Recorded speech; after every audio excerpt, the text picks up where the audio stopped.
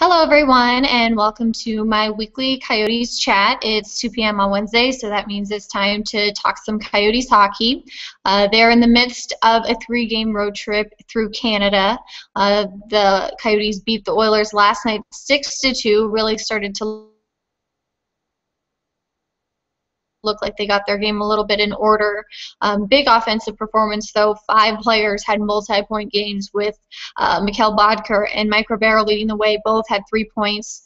Um, so tonight the, the road trip continues. The Coyotes are in Calgary for an 8 o'clock puck drop against the Flames. So we look forward to following along the action tonight. But let's get the, this chat started and take our first question. It comes from Jack. Will the Coyotes ever use their old Kachina style uniforms for a game or two in the future? Um, you know, I'm, I'm not really sure. I think that'd be something that would be very conducive to a throwback or, um, you know, looking back to, you know, the past if they have ever type of night like that where they celebrate, um, you know, a throwback jersey or, you know, an anniversary type game. But I haven't heard of any concrete plans, but I'm sure it's something that the new ownership group is exploring and, and might actually execute in the future. I know those were popular among some fans, so it'd probably be cool to see them back for a game or two um, sometime in the future. Okay, our next question is from Chris Hamill, and Chris asks, "Do we know when Michalek is coming back?" Um, you know, it's it's been really kind of hard to updates on Michalek's status. We, we haven't seen him around the rink too often. Um, the last, if you'll remember, he got injured in the November 14th game in Chicago against the Blackhawks, left with a lower body injury, and most recent, most recently a week ago was placed on injured reserve so that the Coyotes could actually call up some help. Um, the good news right now is that he is on this road trip with the team. Uh, he didn't make the road trip last week, and that was really a sign of him not being ready to go at all. But the fact that he's here, he's started to skate, is a very good sign. Dave Tippett didn't sound too optimistic that we would see him during this road trip. He really wasn't sure if he'd play um, in Calgary tonight or in Vancouver on Friday. So I think if everything continues to progress the way it is, I think it's probably very possible that we see him maybe sometime next week. The Coyotes play in Denver on Tuesday against the Colorado Avalanche, and then they're back home for games Thursday and Saturday. So maybe one of those two games are more real realistic target, but it's obviously clear they miss him. They miss his contributions.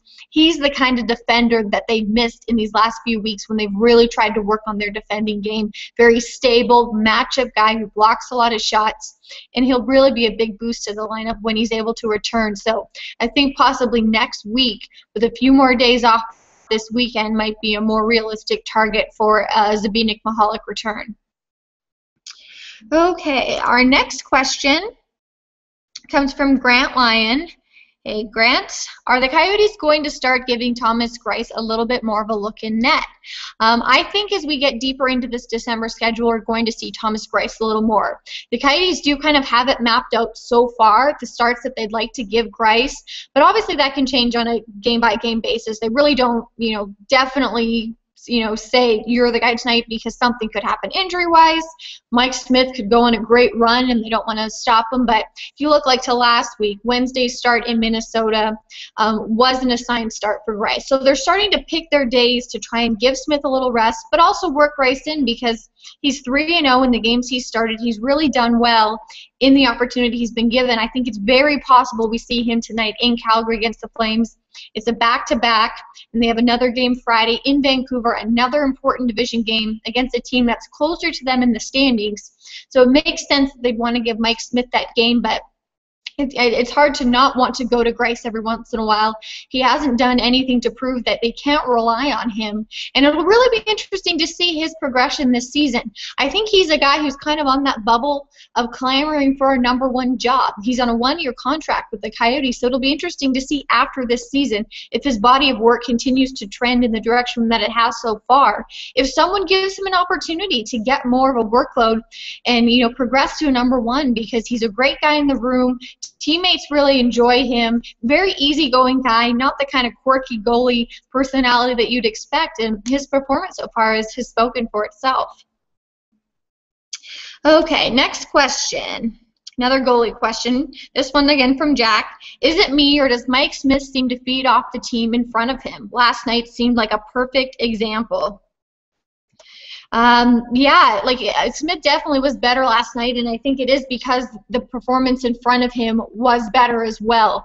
Um, you know, I was able to talk to Mike before this road trip started, and he really said, you know, what had been bothering his play lately was his mental approach. He felt like tactically he was doing, you know, he was doing everything fine in the net, but he was putting too much pressure on himself to really deliver the perfect A game um, to try and pull the Coyotes out of this you know stretch that they've been going in. And I think when he just simplified his game last night and really just tried to let pucks hit him, basically that was it. He didn't want to have to go out and make the big save unless it was needed. And I think we saw that last night. Like Jack said, the team in better was front of him, and he really feeds off that because I think he gets more confidence knowing I don't have to make the save of my life right here. The guys in front of me are playing well. They're backing me up. And we saw that only two goals, which was which was good for the Coyotes to kind of get back a little bit. Obviously, they had the offensive explosion was six, um, so that you know it could have been a little bit closer, but it was a, a step in the right direction. I think that was important for Mike to see that, to kind of know that, okay, if I alleviate this pressure, just play, just kind of react, and like you said, feed off the guys in front of me, it really makes for a better effort for the entire team. So I think that'll be something, though, to continue to watch. Um, you know, Smith's performance, his mental approach. He's still looking for a shutout, which is kind of bizarre um, since he's usually been near the top of the league the last few years in that category. So, um, you know, he's trying to get those numbers down, the goals against, the save percentage, get that up. Um, and if performance like last night certainly will help him accomplish that. Okay, our next question is from Newfie 1963. Overall this season, do you think the officiating is favoring the Yotes opponents? Most of the Yotes penalties are legit, but the opponents seem to get away with more. Hanzal was slashed in front of the net last night and cross-checked by the Hawks on Saturday with no calls. I, I kind of agree with that they missed some of those calls. I really like, um, Newfie mentioned, the, the call against Chicago was very blatant. Hanzal was battling in front of the net, got a shot off, and then Seabrook kind of just cross-checked, whacked him, and Hanzal retaliated, which he admitted after the game he shouldn't have done. But the refs, like the saying says, you know, they always get the retaliation. That's the call they never miss. And it's unfortunate. I think sometimes there have been a few games this season where Tippett and the Coyotes haven't been so impressed with with the officiating calls but they've never been one to blame it on that. There's always been larger issues at play that have led to the loss or led to the goal. Um, you know, they can't put themselves uh, on a five on three penalty kill situation like they did Saturday against the Blackhawks, you know, within the first two minutes of the game, there's a too many men penalty, and then Derek Morris gets called for holding. So those are situations they feel that they can control. But as far as Hanzal, I, you know, I think officials are starting to recognize that um, he's been suspended a couple times. He's a big body. He plays a rough and gruff type of game, and so I, I think they're, you know, paying more attention to him and what he does. Um, and he goes into those areas that you know penalties get called in front of the net, along the boards, and so I think he's garnering a reputation that he's got to be careful and I think that's why we're seeing maybe more calls against him. But you can't fault him for the job that he's doing. He's scoring. He's finding ways to really be effective. And many would argue he's been the you know an offensive MVP so far this season. So it's kind of a catch-22, but it's something that the Coyotes can control as best as they can what they can control. And obviously, you know, it's human error. There's going to be mistakes and calls that they just don't agree with. Okay, our next question comes from Robert E. Lee. Any plans for arena renovations or additions or anything like that in the near future? I haven't heard of anything in the near, near future. I know the ownership group was interested though, and you know, trying to maybe bring more attractions in, you know, to the arena. I know the idea of bringing a Tim Hortons coffee chain into the arena has been thrown around. Um, I'm not sure that that has made any progress, but little things like that, um, you know, to maybe help uh, the fan experience. But really, I mean, this arena is, is 10 years old.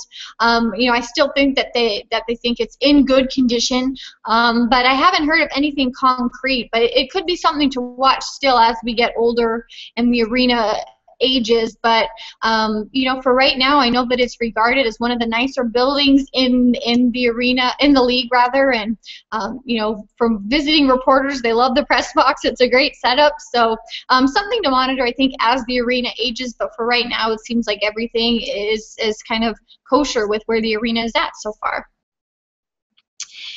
Okay, and this is our last question of the day it's from Hamad. I don't under understand why no team took a chance on Klesla. The Islanders, for example, they really need help on D, and surely Klesla could have been in their top six. Why do you think no team was willing to pick up Klesla? Uh, I, I, think it was uh, a couple of reasons why Klesla might have been difficult um, for other teams to pick up. I think first of all, which you know hurt maybe his his time with the Coyotes so far this season, is he's been injury prone this season season. He started with a concussion after getting hit in the preseason by um, Jordan Nolan of the LA Kings. He came back, played a few weeks, and then was injured again in LA, had to leave that game with a lower body injury. And so I think teams were a little cautious to try and add a player in who's already missed a chunk of games this season because of injury. And then you factor in because of these injuries, his conditioning and, and you know game conditioning wasn't maybe where it needs to be. And if a team like the Islanders, like Hamad mentioned, who are looking to solidify their top six, they want a guy who can come in, be a minute eater, settle in, and really stabilize their group. They really don't want to bring in someone who has issues, um, you know, that could be sitting on their bench and on their shelf. So I think that was part of it. The other factor too um, was his salary, and it, you know, just under a three million dollar salary cap it um, is tough because a lot of teams right now are at that ceiling, at that limit, and so to take something, they have to give something away. And so, um, you know, a trade might have been more viable, but then again, it goes back to those other issues. Is he healthy? Is he conditioning? Is he really going to help our group? And I think a lot of teams were a little bit cautious with that. Um, you know, obviously, this is the first time that Klesla in his career has been to the AHL. It shows you, you know, the type of stock that he's had in, in, in the league so far in his career and you know, he went to Portland. He reported he's going to get a lot of work in in a very compact schedule, which, which the Coyotes like. So possibly we see him back in a Coyotes uniform this season, maybe sooner than later. Um, but maybe he does get an opportunity elsewhere. Um, you know, in his early 30s, his career, I, I believe, by no means is over. But you know, I think it was just kind of a choppy start to this season. Not a lot of stability with injuries and, and playing time, and and hopefully, you know, for Klesla's sake and his family, he's able to rectify that and, and get back to the NHL. So thank you for taking the time to join our chat today. We'll be back at uh, the same time next week um, for our weekly Coyotes chat. Make sure to follow me on Twitter at AZC underscore McLellan for more Coyotes insight and updates. And you also find links to my stories on our AZ Central Sports brand account at AZC Sports. Um, so follow that for all your Coyotes news, and we'll see you next week.